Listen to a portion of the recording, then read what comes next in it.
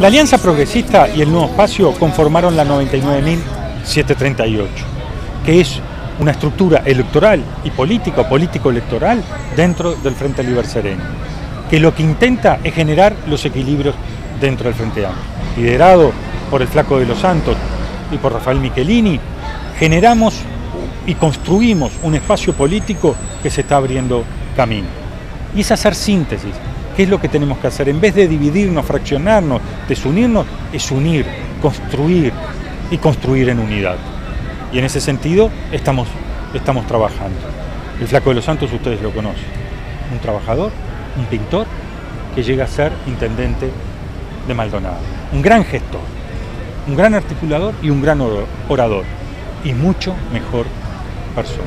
Con él estamos construyendo esta estructura entre Alianza Progresista y el nuevo espacio que llamamos 99.738. Y juntos con la 2121, el Frente Liber.